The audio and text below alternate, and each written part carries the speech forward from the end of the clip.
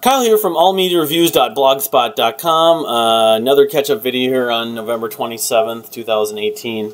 Um, I, I have, like, I don't know, I would estimate maybe 10 records here at least that I haven't shown. There's more stuff in there, I'm pretty sure. Because, um, again, this is only my, whatever, the first videos I've made since, that I've actually, I'm planning to share since um, May or June of 2018. So, um, again, I'm looking for a house. I'm just about to get pre-approved, I believe, and the finances are available, will be available, but, uh, you know, it's all got to be set in motion, and um, the hope is I can finally move sometime this winter, maybe March, maybe April, could be earlier, but buying a house for the first time is nothing that I would tell anyone that is easy. So, anyway, um, so some stuff that I talked about in the blog probably, and some stuff I just picked up I didn't talk about on the blog. But one album is from my album of the year list, which maybe I'll find a chance to do that. I don't think I'm doing that tonight, but maybe I'll do a podcast. But this was a Black Belt um, Eagle Scout, which is Katherine Paul, who is it's just basically a solo project from Katherine Paul of Genders, formerly of, of um, Forest Park, post rock, you know, band with female vocals. But this is really sublime. But I mean, I guess I'm a little bit of a fanboy because I really enjoy most things I hear from her. But it's yeah, it's definitely dreamy at times, like a lot of her music. But it, where it differs from Genders is she's playing the guitar, and I think it's more in the kind of I don't know. I guess it, it, it's more ethereal. It's less rock and more kind of mesmerizing than Genders, and it's more like Forest Park. So um, I don't have really any specific standout tracks, and of course the jacket got got ruined. It's just this stuff can get ruined so easily. But if I have any specifics, I really... Mother of My Children, I think that was one of them, and then Soft Stud, and Indians Never Die, those three, but the whole record is like 35 minutes and it just flows, and it's really a good mood record. Um, so, yeah, Mother of My Children is the name of the album.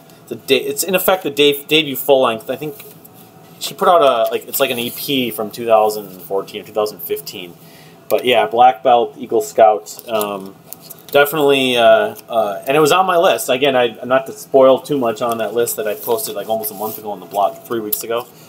So another one I got, and I know I got this as a result of saving some dough, just like the Godspeed Your Black Emperor album. Sufjan Stevens, my favorite Sufjan Stevens album, Age of Adz. The Prog album, that's most prog. Impossible Soul, that's the uh, the key track. If you've never heard any Sufjan Stevens before, but you like prog rock, you like the Dear Hunter or I don't know what else you compare it to. Anathallo, of course, a lot of the chamber stuff, Typhoon or or Cloud Cult. But I mean, this is more at times a little more electronic, but it just oh, it's just a perfect composition. Even though there's repetition, it just it segues and builds, and I never get sick of that song. Um, it's also unlike a lot of like pretty much all of the other records. He has electronic sides, but it, he combined the two where he used the, the gang vocals and some trumpets I don't know. Um, and you know, I haven't even looked that much at this, but yeah, Sufjan Stevens, um, Age of Adz from 2010, one of two releases he had that year at least. The other one, um, we we forgotten people, not we forgotten people. I'm thinking of Broken Social Scene, something people, we the people. That was like it was like an hour long EP, which is a kind of contradiction in terms, but. Um, but that one's more like the Illinois, kind of Michigan. I don't know. I, I should go back and revisit that. I remember just being kind of finding that was okay. Didn't have any like incredibly like you know breathtaking songs the way that you know especially Impossible Soul or Vesuvius is another one. The title track. I, I remember just and this was in my top ten records for 2010, which 2010 was a fantastic year, which says something about it. So anyway, um, another one I got, which again I also ended. All of these are ended up on my list. Josh King's debut album, Josh King from House of Fools, North Carolina musician, assuming he still lives there, called um, uh, Into the Blue. It's like Josh King and Friends. It was listed on in some places, but I think it's just standard black. Yeah, Dreamer's Dream. You know, I've listened to this like maybe three times, and I like it it's got some moments that reminded me of what I loved in like some of the like more mellow House of Fools songs. It is a more of a singer songwriter record, but he has like some piano and I don't know. I mean, it, it definitely isn't exactly like House of Fools, but if you like House of Fools, it's worth checking out for sure.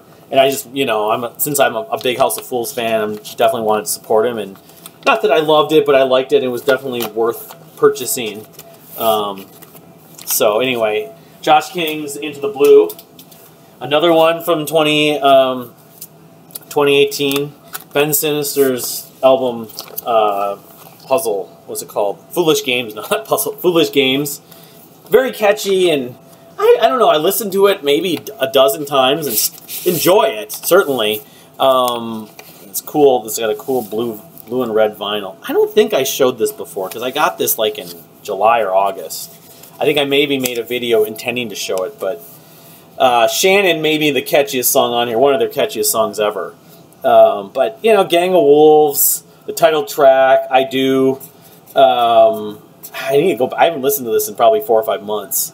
But um, yeah, I mean, it's it's on my list. Certainly, it's not that low on the list, but it it didn't unfortunately really place as high as some of the other records like Animals, um, which you know, honestly, I'm not sure if I, I compare Animals and this and the one before it. Um, uh, what's it called? Um, Small Fame. Which one? I, I I might lean towards Small Fame. I think Small Fame might have, you know, more songs I enjoy, but then I think the best song that they ever they did in that whole period might be on Animals, but but this is a yeah, and then this came with it was part of like a puzzle thing with Foolish Games. It was like there's like I don't know, 150 other pieces like this that people that ordered vinyls got this this little guy. So um, again, I, I saw this. Let's see, pop up radio from Kai Danzberg.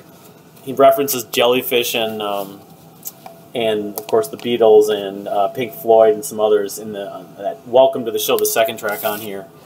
I think he's from Germany, but um, yeah, he, he he posts a ton of stuff on YouTube about Michael Jackson.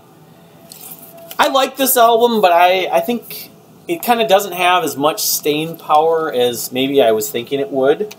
But um, like Josh King and and and Katherine Paul, he's an independent musician that um, you know, he always wanted to release a vinyl, and it was like a big deal. Like he had like a, a campaign for it. I don't know, it was Pledge Music or whatever. But I was glad to support him. I'd like to see what he does in the future. And he got signed to a label too, uh, Kai Danzberg. But um, yeah, good record. That's the best thing I can say about it. I, I, I, haven't uh, had like a yearning to go back to. I would say Welcome to the Show. The video too is kind of dreamy, and the references again. If you love Jellyfish, it's worth checking out because it was shared by Roger Joseph Manning Jr. on Facebook originally back. I don't know when that was, March I think, March or April. So um, all right, uh, Jeff Buckley's Mystery White Boy, and I think I got this. Well, I don't remember. It just did come out. It wasn't a record store day item. This is a kind of a, one of his like two or three classic live albums because he has, of course, the Sin-é box set which I got for Record Day this past year. Um, it's got you know a lot of the classic Jeff Buckley songs that people know him for. Dream Brother, which is a favorite of mine. Eternal Life, Last Goodbye.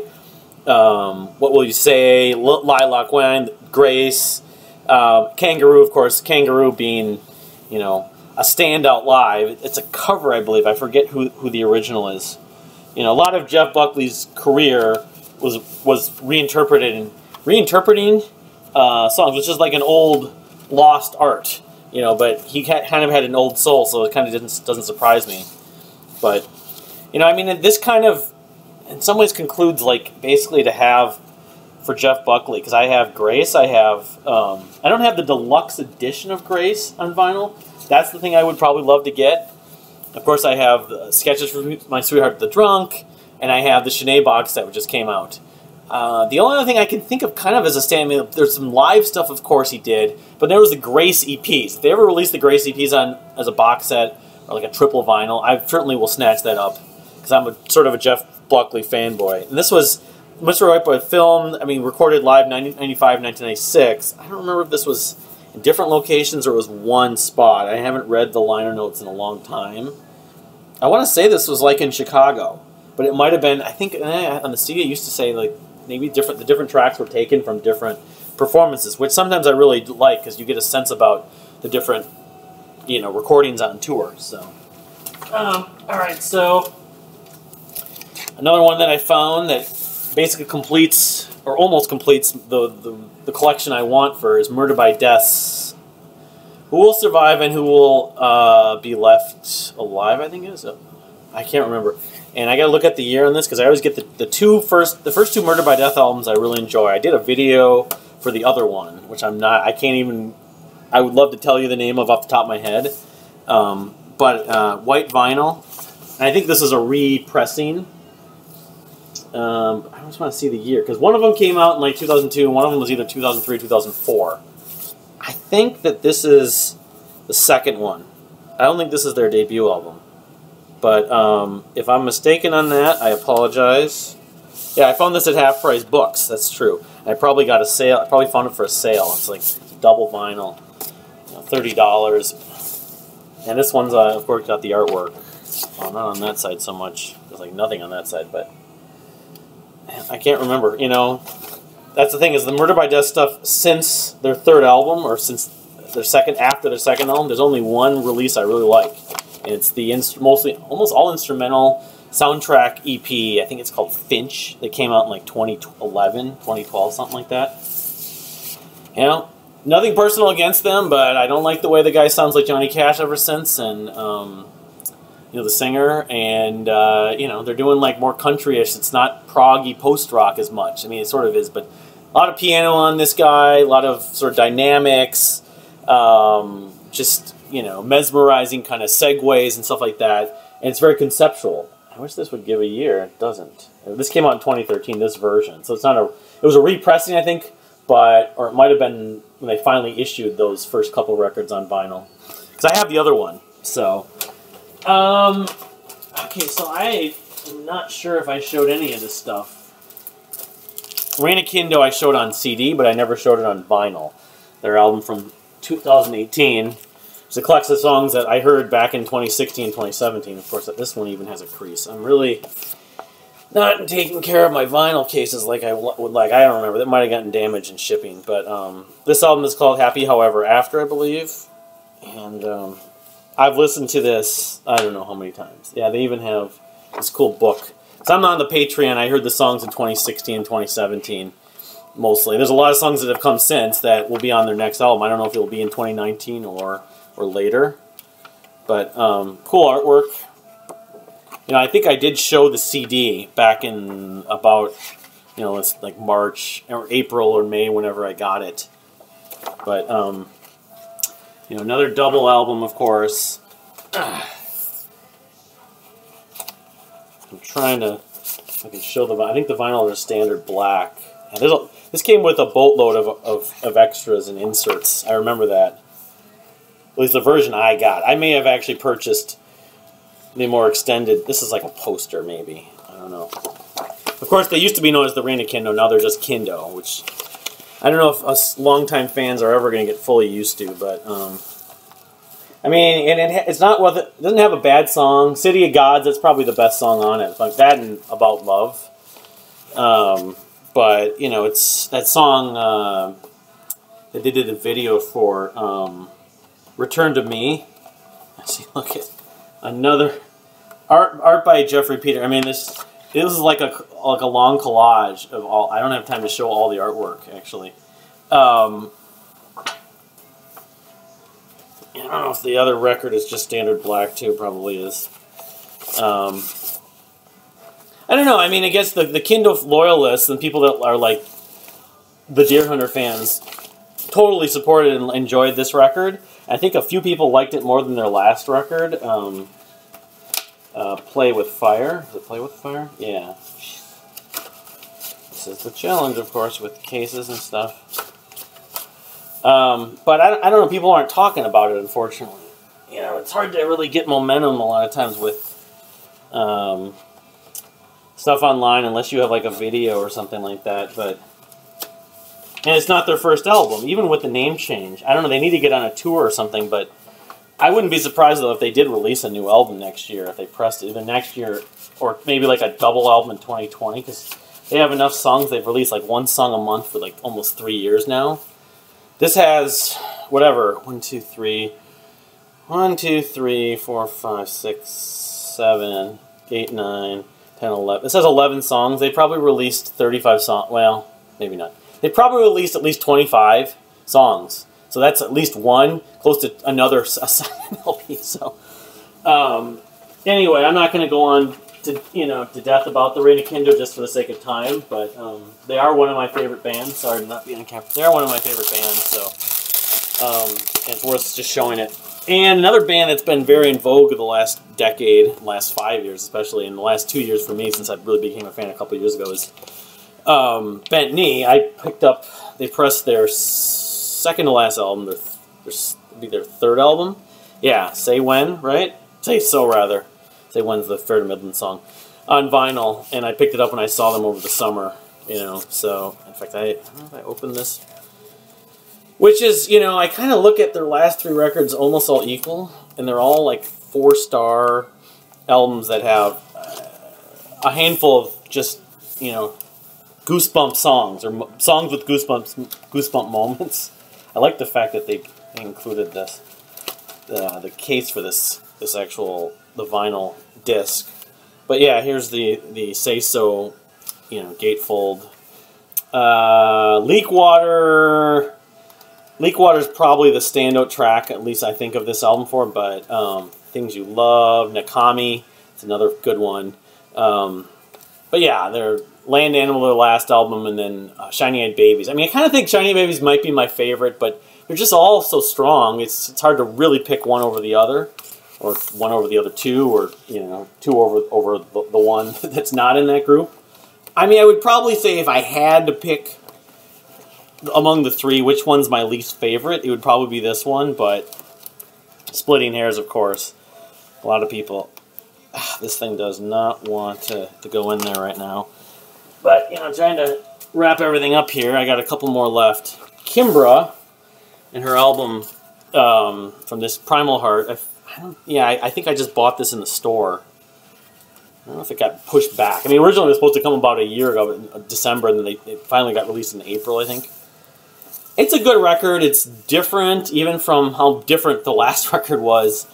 Um, everybody knows is probably my favorite. I will say that the EP that came out, the reimagining of those four songs, might might be even better than this whole thing in some ways. I mean, I, that's a, maybe that's a little bit of a, a jab at her and this record. Top of the World is a single. The Good War. I mean, there's a lot of good songs on here. Um, human, uh, black sky. Um, yeah, I mean it's like like uh, Bent Knee. It's it's Kimbra, and so I'm a little bit of a fanboy and a little bit of, and I have kind of a loyalty to her. And if I'm looking at her her catalog right now, it's not. I don't like it as much as as Vows at all. I can't. I honestly can say that. And I'm not sure with Golden Echo in it. It's wavered, but I probably would still lean toward Golden Echo now. Give me two or three years. I'm not sure. Golden Echo has some amazing songs, but this has enough good material on it too, and I like the fact it's not exactly like the Golden Echo. I guess the question is, what does she go next? Is it going to be like Vows? Is it going to be like this? Is it going to be like the Golden Echo, or it could be completely different? Knowing Kimbra will probably be different too in some ways. But um, yeah, I'm still going to pick it up. I didn't get the big deluxe edition with all the extra stuff. I would love to find a vinyl copy of that reimagined thing if it ever comes out because that thing I should get the CD if it's available. Th those were mesmerized. All, those four songs were basically reinterpreted in such a cool way. Uh, it's the good. I think it's the Good War. Um, everybody knows. Uh, Black Sky I was one of them, and it might be Past Love. I forget. So I think to close out this vinyl video, and we're probably like at least 12 or 13, oh, we're 20 minutes in it's making up for time lost. Fjokra. This means a ton to me to have anything from him uh, on physical form or vinyl. This is a three. I said it was a four-track single. It's a three-track single. I put it in my top ten. I should probably go back and change some of the stuff I put in there. But yeah, yeah, this is this is it's Fjokra, and you know, again, um, I love Fjokra. Fjokra's Irish musician who lives in England. You know, very schizophrenic, you know, my favorite release of 2014 was was 2014. Yeah, it was 2014. Was the EP uh, Thought Steps. This is Evening Lights, and you get the two extra tracks, Sick Kids and Bang on the Door. So, um, you know, I'm waiting for whenever he puts out anything else, he's just release single after single. Just released a new single um, Sugar Face, which I like. I don't know if I like it as much as any of the songs on here, though, at this point. But yeah, no, the guy's brilliant. The band's amazing. You know, I, I don't think they're going to be for everyone because it's a little too weird, a little too disjointed, a little too schizophrenic, a little too genre bending. But when he hits the nail on the head and like literally he's hitting like 95% for me. The guy's just kind of I want it's like Small Leaks Sink Ships or some other bands, you know. I want to hear any as much from this guy as possible. I, am waiting to maybe he puts out a full length. How about just another EP or another three track single? so um, yeah, I love this thing. I was just overjoyed. It's like getting the Apes and Androids seven inch a few years back. So, um, but yeah, that's that's a lot of records, and I I think I have more stuff here. Yeah, I do. Well, why don't I just pull this out to see if I can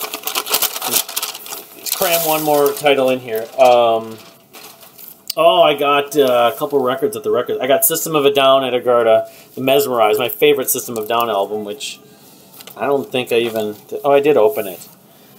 Um, no, I did not. So uh, I can either attempt to do that live here, I can pause it. All right. All right, I'm getting this thing open. Yeah, the last of the last two System of Down albums came out in 2005, of course. This was the first part of it. I, I think I'll always just associate the line Tony Danza cuts in line on old school Hollywood. But yeah, this, it's, you know, I love Toxicity. Um, think I might have that on vinyl. I know I have it on CD. I can't remember. Maybe not. But I think the whole catalog just got reissued on vinyl. Um, BYOB, radio, video, violent pornography, question, old school Hollywood. You know, I mean, it's. I don't know. I mean, old school Hollywood maybe is my favorite, my favorite moment on it, but um, it was great to finally get my favorite uh, System of a Down album on, on vinyl. But yeah, if I don't have Toxicity, which I thought I do, but that would be one I would want to get. And maybe this, this self-titled or steal this album for the right price. But um, that one came out, and then I found this for, for really like three. What, what it was? It was three ninety eight. You know, this was a precursor to Return to Forever called Before Forever. I've never heard it, but you know, I love Return to Forever, and I wasn't you know spending an arm and a leg on it. Uh, it was used, of course. I think the, the conditions probably relatively, you know, it's playable. It's got, yeah, this is almost new. I don't really notice much at all on it, any issues. It maybe I've only listened to once or twice. Quintessential Jazz series, part of the series that came out in 78. But I think this stuff from this record, Chick Corea's Return to Forever, Chick, it's actually Chick Corea, was, was done before they formed with a title like that. And there's a whole write-up right here that kind of goes into it. But um, the question is, you know, as far as these are all Chick Corea compositions, is he the only one performing on this? And this doesn't give a lot of detail. It talks about some of the other members in here. This might have been even going back to the late 60s. I don't know, this is maybe like a bio. But, um, yeah, I'll have to do a little more research into this. Maybe I can find a find some of it on YouTube. It's four tracks. The Brain, which is 10 minutes, Song of the of Wind, 753, Converge, and Sundance. They're just four longer pieces. It might just be like a piano, just a piano improvisation, which Chick Corea has probably, you know, 78 or or 112 different releases in his, his catalog if you include Return to Forever and the Electric Band and everything. You know, this is one of, you know, many of those. A lot of those are outside of Return to Forever instrumental pieces. Because um, I know that's what he just did. He didn't, I don't know if he played too much um, individual uh, I mean, other instruments besides piano and keyboards. Um, I'm sure he could arranged for that stuff, but yeah.